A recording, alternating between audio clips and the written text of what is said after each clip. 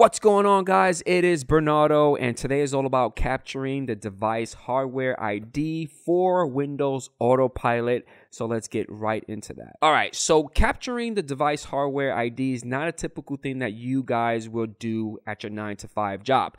Uh, the whole Windows Autopilot thing works well if you are uh, creating, establishing a relationship with your vendor that you purchase your hardware from, your laptops or desktops from, like Dell, Lenovo, whomever, right? They're the ones that are going to capture the hardware ID and then import it into your Windows Autopilot section, which I'm going to show you in the later video. Today is all about capturing the ID. I just want to show you guys how they do it, the vendor side, right?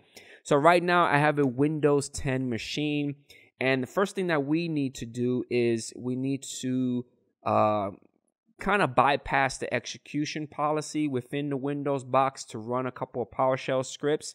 So what I did was I clicked on my start button, I typed in PowerShell, and I am going to locate the Windows PowerShell app and I'm going to run it as an administrator Click on that and it's going to load up. Now, the first command I ran was I'm going to set the execution policy within the machine because, again, I need to run some PowerShell scripts that I need to download from online. Now, this is the command that I ran and I hit enter and I got this. You know, Windows PowerShell updated your execution policy successfully, but the setting is overridden by a policy defined at a more specific scope, right?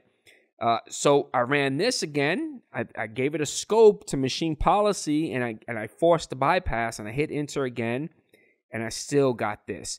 Now I don't like to see error. I like everything to be clean. So what I did, I did a little bit of investigation, and it looks like there is a particular local group policy that you need to set on this machine to run on Windows 10 to kind of force the bypass.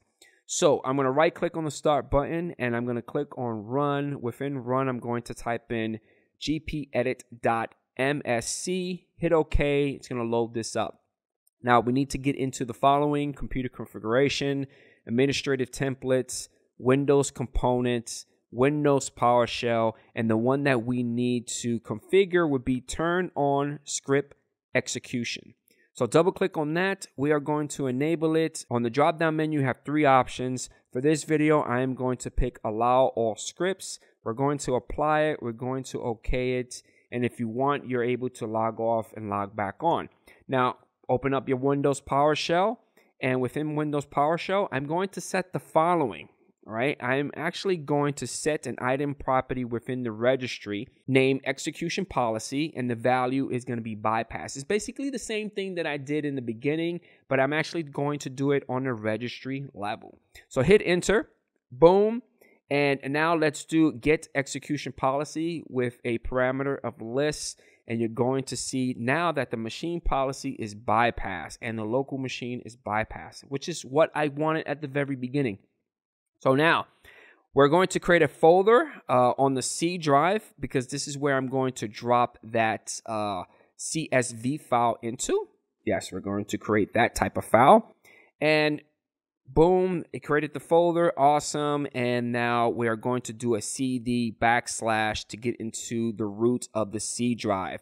Within here, I am going to do a CD and the name of the folder that we just created and hit enter to get into that particular folder.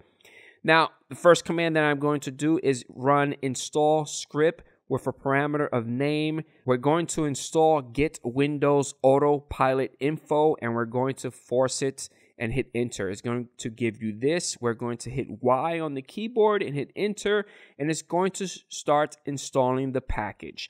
Once it's completed, boom, it takes you back into your PowerShell prompt. Now the first command that we're going to do is establish variable environment path and I'm going to point it to the PowerShell script folder, right? Hit enter here.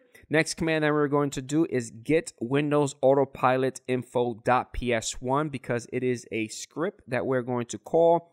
The parameter is going to be output file. Once you do this, we're going to hit enter and it's going to actually grab the information that you want. Now, this is the serial number for this virtual machine And this information is what you're going to actually import within your tenant, within your Azure tenant. Now, open up your File Explorer and go inside the C drive and the folder that we created. If you go inside of it, you're going to see that CSV file. And this is the file, like I said before, we're going to take it and we're going to import it within our Windows Autopilot to get it ready to push out profiles. And that's it, guys. Hopefully, you guys enjoyed this video, and I catch you guys on the next one. Peace out.